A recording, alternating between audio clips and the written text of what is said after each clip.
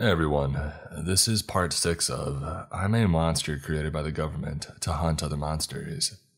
If you want to listen to the first 5 parts, they'll be linked in the top of the description below. Enjoy everyone.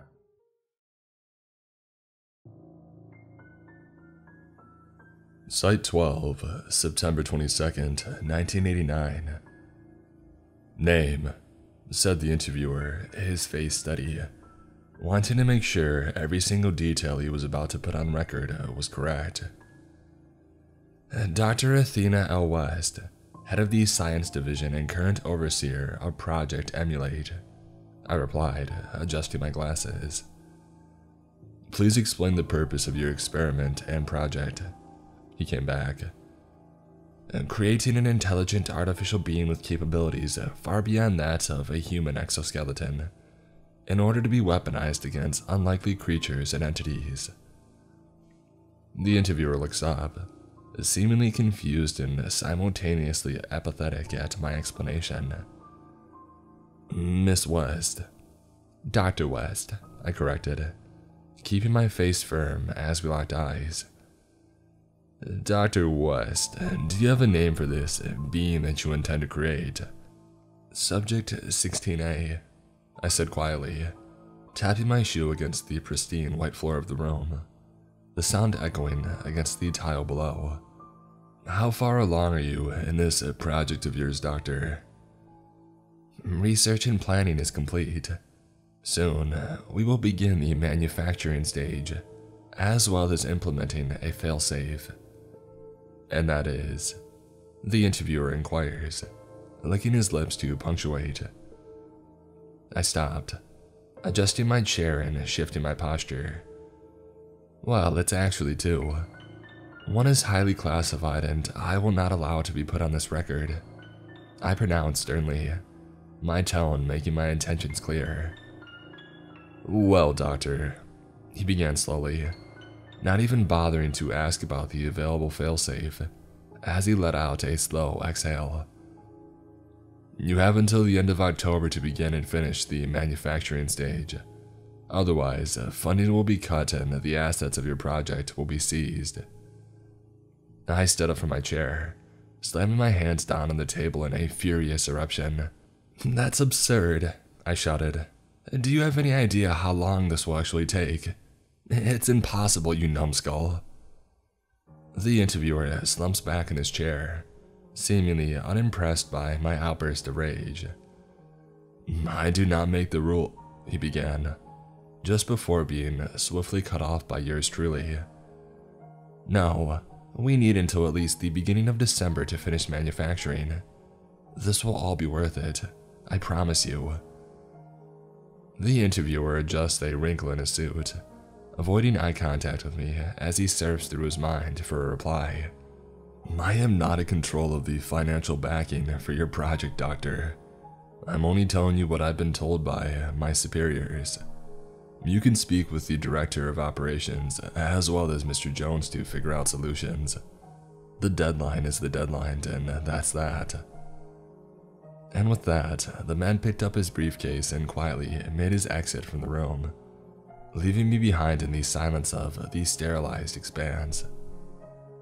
I clenched my fist, my blood boiling as I gritted my teeth. I leaned over in my chair, aggressively unzipping my bag and pulling out a large sheet of paper neatly rolled up within it. I set the scroll down, unrolled it, and smiled as I laid eyes upon its contents. A blueprint. A blueprint for Subject 16A. It was beautiful, truly magnificent.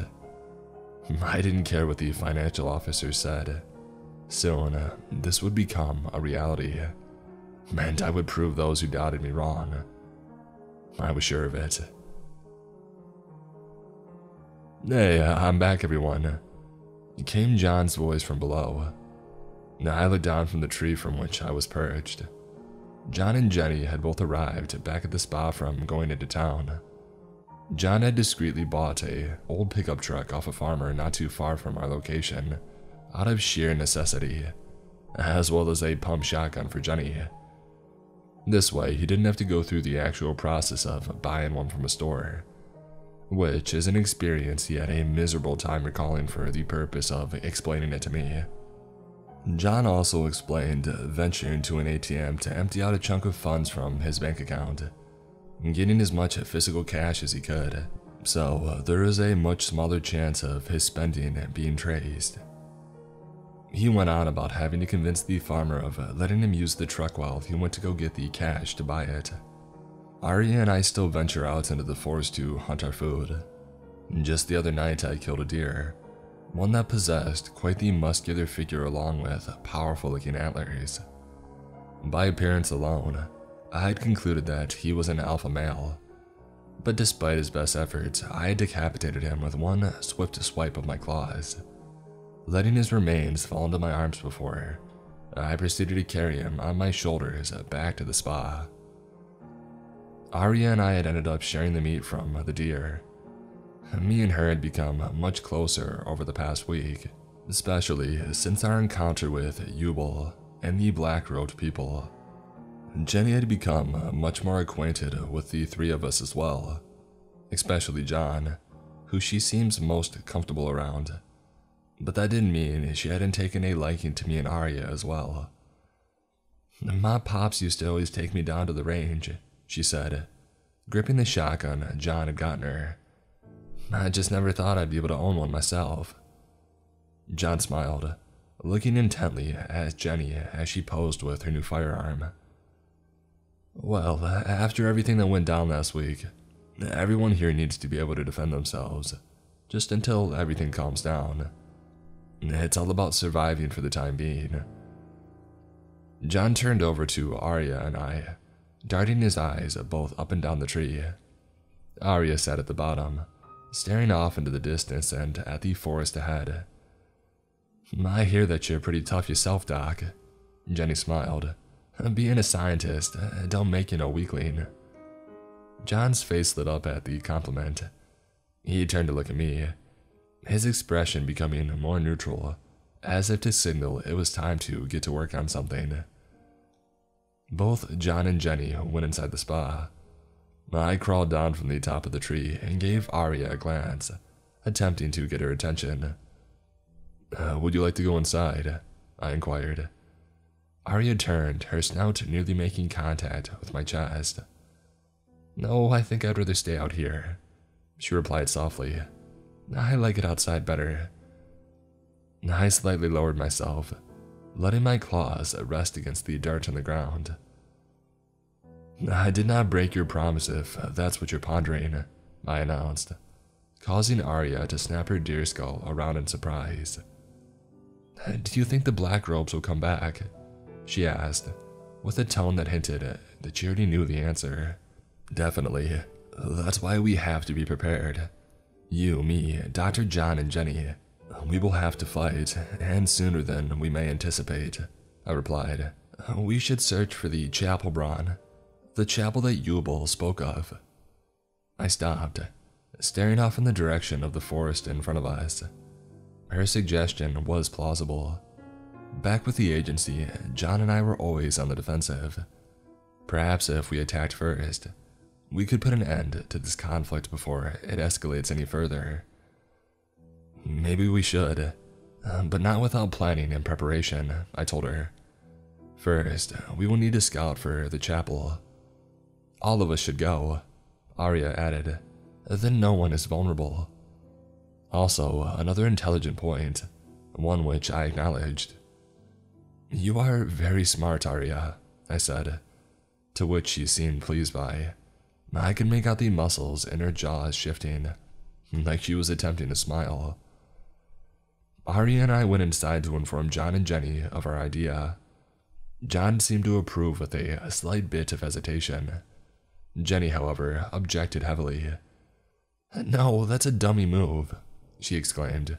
By no means should we go sticking our noses right where they set up shop. Hey, I know you're scared, John began.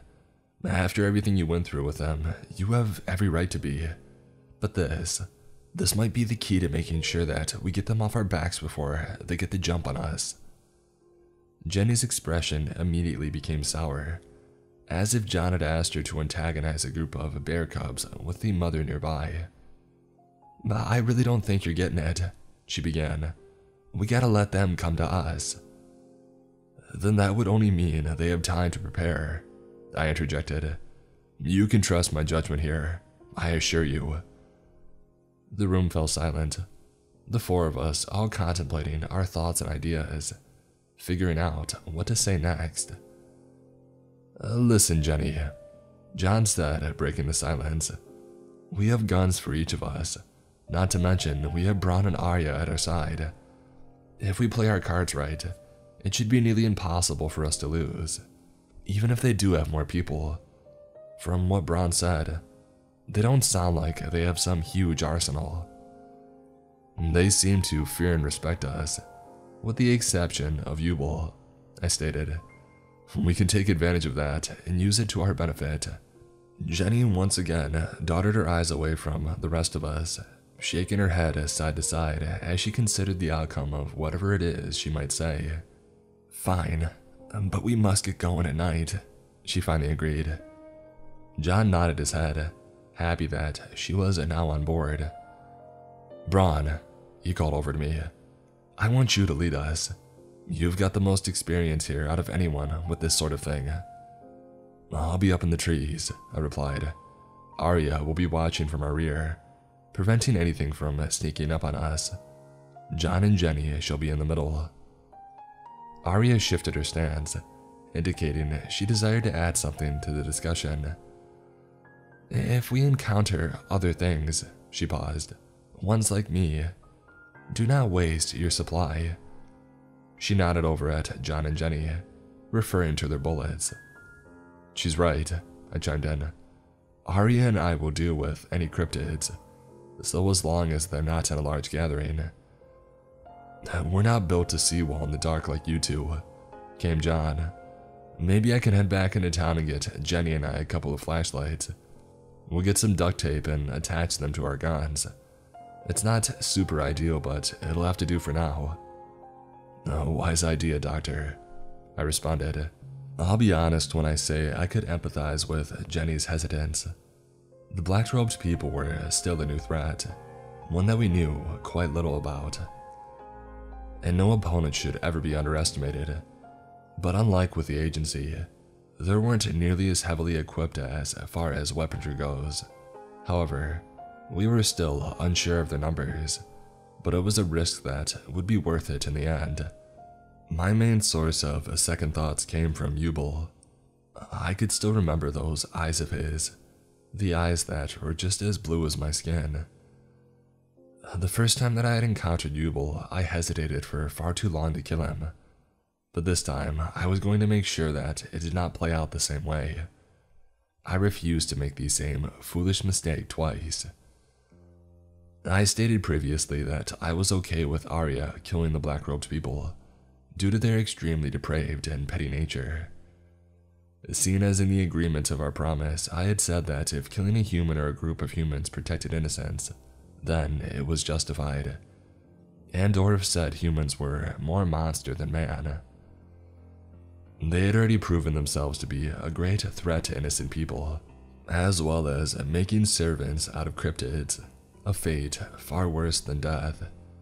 In my experience, that qualified them as corrupted beings. Therefore, I wouldn't protest their deaths. I myself, however, didn't plan to kill most of them, just Yubel. The others I would simply incapacitate or knock unconscious, unless the situation had deemed it necessary for me to do otherwise. Tonight, blood was likely going to be shed, but I knew that if it was in the name of saving more lives, then it was what was needed to be done.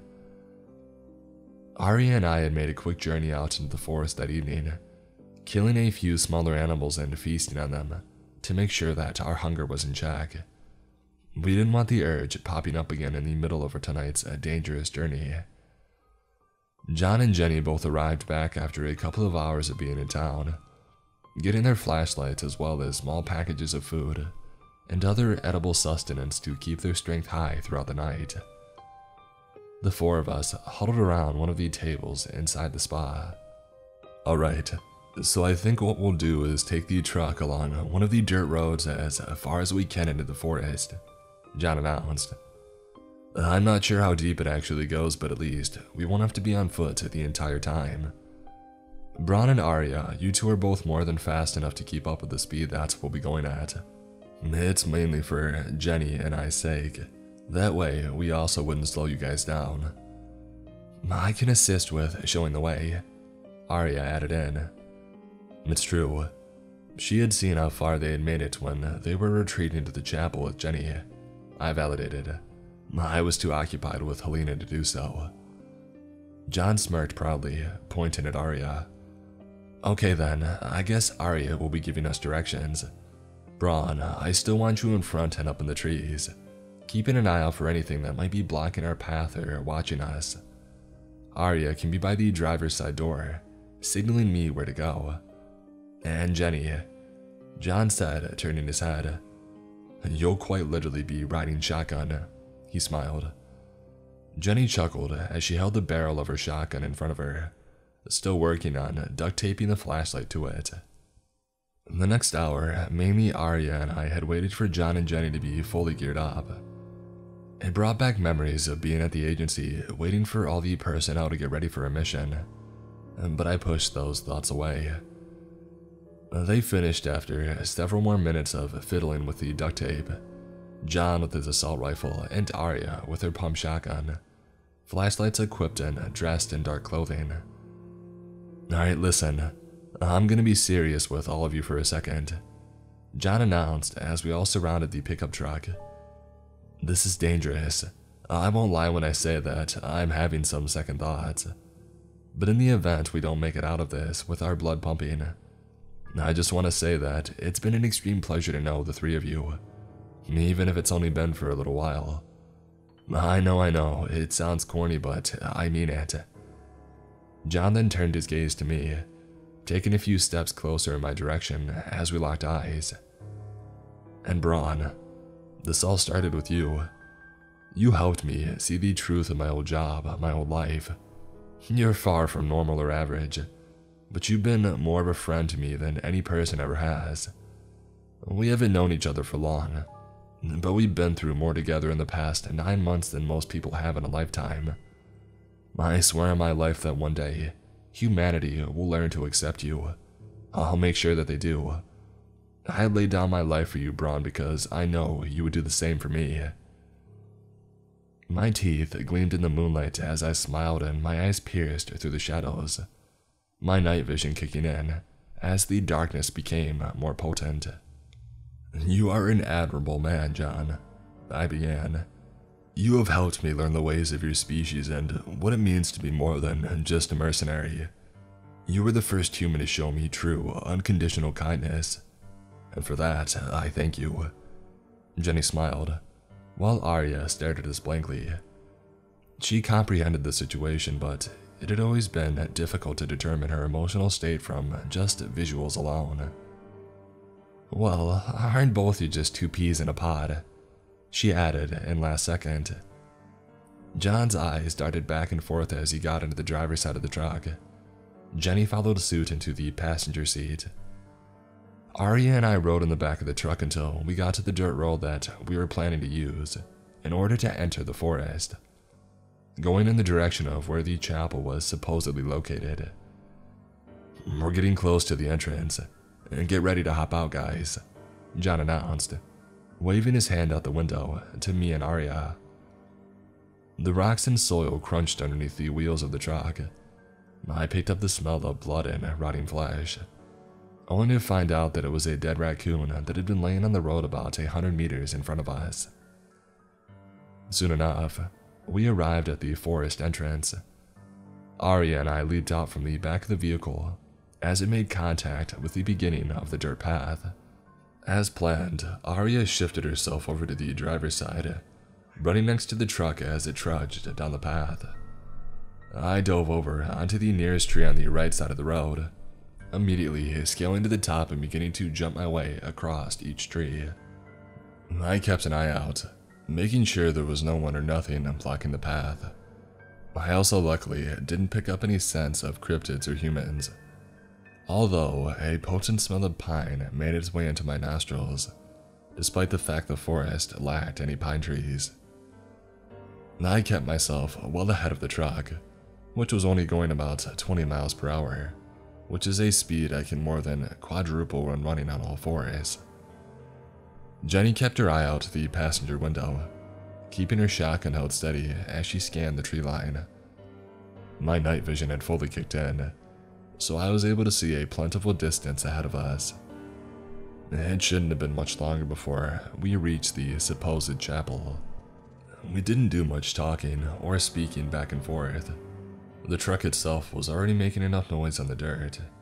It would have been foolish to add to it. Arya kept pace with John and Jenny, pointing her snout in the direction that she wanted all of us to go. With only moments passing by, the same smell of pine from earlier started to intensify. The pure potency of it was ridiculously overwhelming. I could tell that it was also bothering Arya. The way that she shook her head as she kept running made it clear. Geez, now, what is all that about? I don't see a lick of pine in these woods, and it smells like a dang retail store during Christmas, Jenny complained, attempting to keep her voice down. A steep incline was not too far ahead. I jumped down from the current tree I was in and sprinted across the ground instead my claws giving me traction in the dirt as I dashed along the terrain. However, at the end of the incline was a makeshift roadblock, an assortment of two fallen trees, torn up bushes, and a multitude of sticks and branches. It was obvious this was meant to keep out any vehicles from entering this particular area. Crap. John cursed as the truck slowed to a stop, just feet before the artificial obstacle. Braun, you mind giving us a hand? I stopped as well, rotating over to the road and shifting my way toward the driver's side of the truck. Shooting Arya a glance, the both of us maneuvered over to the blockage. I began pushing one of the fallen trees out of the way and off the path, heaving it off the road and letting it slowly make contact with the ground away from the path. Arya grabbed and tossed a bunch of the bushes and smaller items, once she had got to the second fallen tree, however, she struggled to lift it off to the side, especially due to the fact that it was considerably larger than the one that I had hoisted up on my own. I finished what I was doing and immediately came to her aid, moving towards the middle of the trunk and placing my claws underneath to begin lifting with her. The weight of the tree was no match for our combined physical strength. We both synchronized and carried the tree several feet from the path, turning it horizontally as we set it down, making sure to do so quietly and with calculated movements. Arya turned, those sunken eyes looking directly into mine once again. Thank you, Braun, she said softly.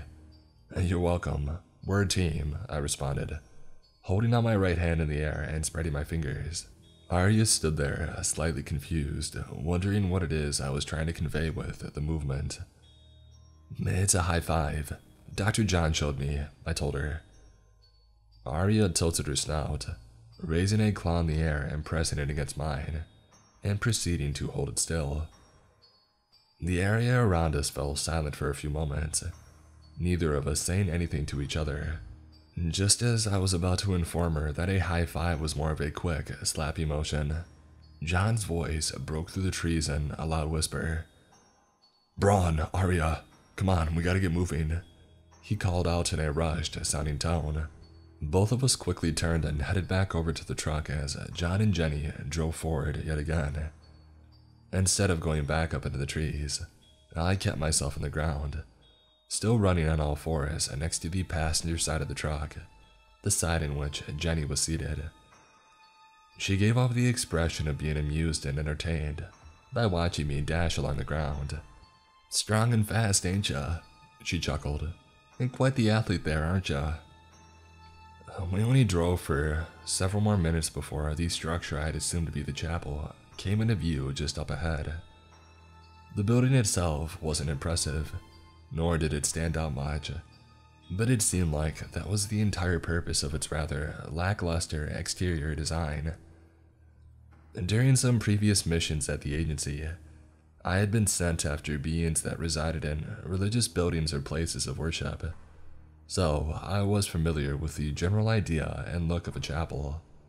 This one was made from mainly a simple stone brick, with dust spread all over its surface.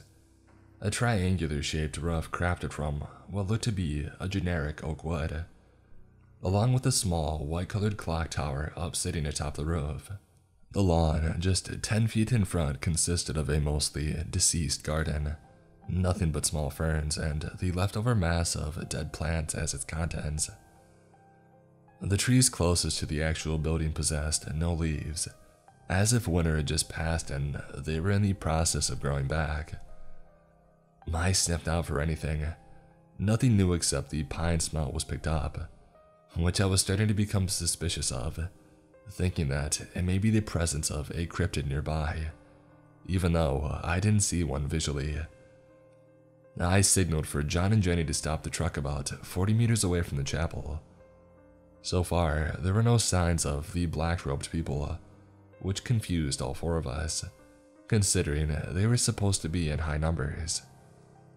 I did consider the possibility of them hiding, or perhaps they had fled after their encounter with Arya and I.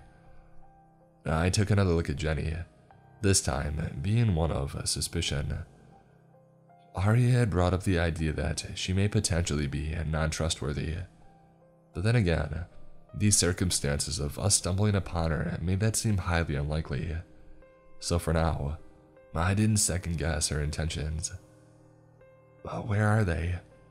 Arya asked Jenny, standing up tall as she scanned the area. Jenny exited the truck, keeping her shotgun held tight as a confused look emerged onto her face, clearly off put by the current conditions of the situation. Not a dang clue. Maybe they knew we were coming. Probably hauled their butts to wherever else they set up shop at. Uh, they may have left some forensic evidence behind, John added. It's still worth checking out. Might even find out what their grand plan is. The four of us began to march towards the structure, John inspecting his rifle and making sure that it was ready to go. Gotta be honest when I say that I've shot lower caliber stuff before, but nothing this high grade. So hopefully, I learn quickly if we get into trouble. We could always switch if you wanna, Jenny replied, a tone of light sarcasm hidden beneath the request. And then I heard it. A strange sound coming from below us in every direction. It was forceful. I could feel the vibrations of it at the bottom of my feet. I immediately began to think back to the yellow tentacle creature in the ground, making me act quickly to make sure my three friends did not meet the same fate as the agents did at the time. Move, now, I commanded to the group. But instead of tentacles bursting up from the earth, it was multiple entities, all spread out around the general vicinity of the chapel and humanoid in their shape. But that's where the similarities ended. Uh, they possessed two arms and two legs.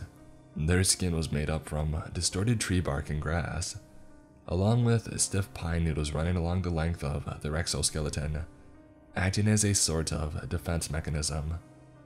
They were completely covered head to toe by them, all standing at a height of around 6 feet. Their faces were featureless, other than their movements and disturbing the ground. They themselves made no noise or sounds, no hair anywhere on either side of their head or body, despite the pine needles sticking out from their skin, mimicking the appearance of it. They crawled and dug their way out of the soil from all around us. There had to have been well over nine dozen of them emerging from the dirt. I had considered the possibility that they were something the black robed people had created or used to guard the chapel, and our presence in the area was what had awoken them. Get back! Get back! John demanded. No, I protested as the creatures rose further and further from the soil. Arya and I will lap around the area, drawing some of them away while you two use your firearms in order to eliminate as many as you can. As I finished speaking, one of the entities had finished his ascent from below and sprinted at Jenny mercilessly, attempting to pounce on her. but she had reacted quickly and fired her shotgun in retaliation, blasting the head and torso off of the creature, also causing thick dark green blood to explode everywhere as a result. The creature made no cries or wails as it ran towards Jenny, or even up to the point it was obliterated by a shotgun. None of them made any verbal noises, in fact, indicating that they were more than likely incapable of feeling pain, or were just unable to express it. Okay, you two go, now, John erupted, now raising his rifle and beginning to fire into a small crowd of the creatures. He was taken aback by the recoil but did his best to keep his feet planted firmly while operating the weapon. Luckily, they weren't very durable nor did they appear intelligent.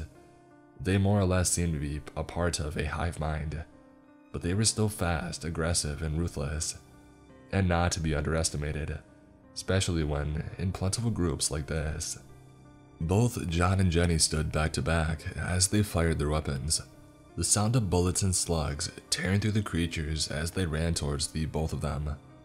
Their numbers only seemed to multiply as time went on, and soon there would be too many for just those two to handle, even with their firearms. Arya and I sprinted off in opposite directions, bringing around 30 of the entities each with us. Although they were no match for our speed, they didn't give up and mercilessly pursued us nonetheless. I made sure to circle around the area, keeping them in a sort of train-like formation as they grouped up closer and closer together. I readied myself as it came time to start eliminating as many of them as I could in order to thin out their numbers. I picked up two of them, one in each claw, and slammed them together so hard that their heads had been obliterated by the forest. The others viciously jumped onto my mass and attempted to dogpile me, to which I reacted to throwing as many off as I could. One in particular had wrapped himself around my left shoulder. I quickly pulled him off, threw him to the ground, and stomped his head in with my right foot. The dark green blood coating my toes and heel as a result. After that, I dropped down and ran forward a little more, just enough to give myself a window to kill a few more. I could still hear the sounds of both John and Jenny's weapons being fired, signaling they were still busy with the ones converging on them. However, I hatched an idea while surrounded by some of the nearby trees. I turned back to the creatures. They continued to stumble and trip as they ran towards me, which is exactly what I wanted. I stood right by the largest tree near me and simply waited, making sure to time it just right. The creatures, now only about 50 feet away, seemingly sped up in their attempt to get after me. I turned and began to slash my claws through the trunk of the tree. Multiple times I went back and forth with both my left and right. The tree now slowly began to tap.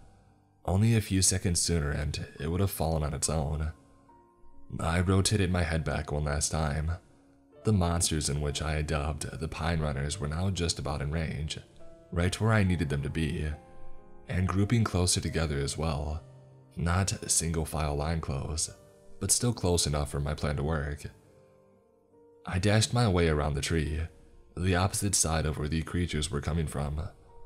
I placed both hands on the trunk, heaving it forward and pushing, the weight at the top propelling the momentum of the rest of the trunk below as it swiftly descended towards the ground. The pine runners didn't even look up or notice the tree as it fell down and violently crushed the majority of them, evidently too focused on their objective to care or notice. There were still four of my particular group of pine runners left, the ones who had gotten lucky enough to not have been flattened by the tree. I leaped onto the fallen tree trunk and sprinted across it as I focused on one of the creatures to my right. I leapt off and quickly grabbed him, following it up by throwing him to my right. He collided with a sizable branch on the collapsed tree, being impaled right through the center of his torso, along with smaller branches piercing his arms and legs as well. The other three lunged their way onto me, one of them latching himself onto my back, into which I countered by reaching over and burying my claws through the back of his head, causing him to go limp and slump off. The remaining pair jumped out of my chest and torso area. I reacted without hesitation and grabbed one by the leg, slinging him through the air and slamming him hard enough onto the ground to destroy his head and upper chest. The final Pine Runner violently kicked and thrashed as it tried to stay clenched around me. I pulled him off, holding him by each arm with one of my own. I then proceeded to tear off his right arm. He seemed completely unbothered by this and continued his attack.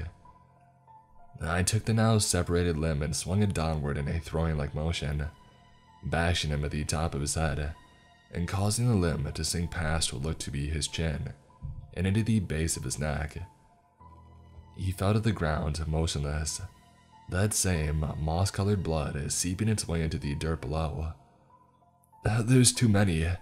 I heard John desperately shout from where he and Jenny were both still defending themselves. Without hesitation, I immediately dropped down and sprinted across the area. John and Jenny were now attempting to fight the creatures in melee form, confirming that they had run out of ammo. I also didn't spot the flashlights on their guns anymore, meaning that they had taken them off in order to convert them into more useful blunt weapons. Jenny ferociously slammed the butt of her firearm into one of the creature's heads, causing some of its blood to explode on her face. Take that, you walking rosebush, she taunted, trying to keep her hopes high. John performed a similar move, reaching forward and jamming the barrel of his rifle into the creature's forehead as he groaned. Uh, get the heck away from me, he snarled unforgivingly. The remaining 40 or so creatures began to surround John and Jenny, and without their guns, they wouldn't stand a chance against such a high number of them. I ran forward. Arya was coming as well, establishing that she had finished dealing with her batch of the Pine Runners as well.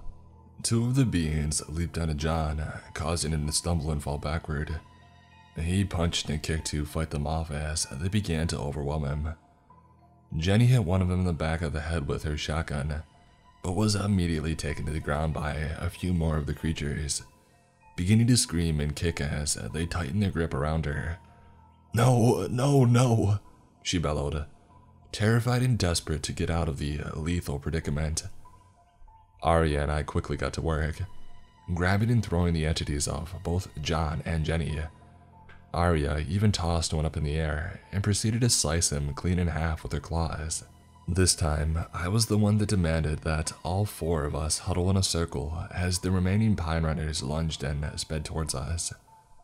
We all began to work as one, John and Jenny bashing the creatures with their weapons, and Arya and I slashing and slicing them to pieces with our claws and ripping them apart with our strength.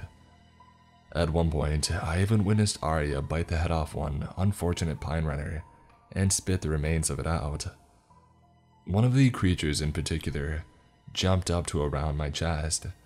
I grabbed him by both the leg and opposite shoulder, applying force and tearing him completely in half. Jenny swung her shotgun upwards and nearly knocked one of the creature's heads clean off. John tackled one to the ground, getting on top of him and driving the barrel of his rifle into the creature's head yet again. Arya tossed an additional pine runner into the air and slashed him clean up the middle, along with tearing the heads off another two of them. Soon, their numbers began to dwindle. And we were winning. It wouldn't be long before we had put an end to the small army. With less than a dozen left, I continued to slice and tear my way through the creatures. Arya did as well. John and Jenny huffed and groaned as they began to grow fatigued, exerting themselves to their breaking points in order to stay alive and in the fight.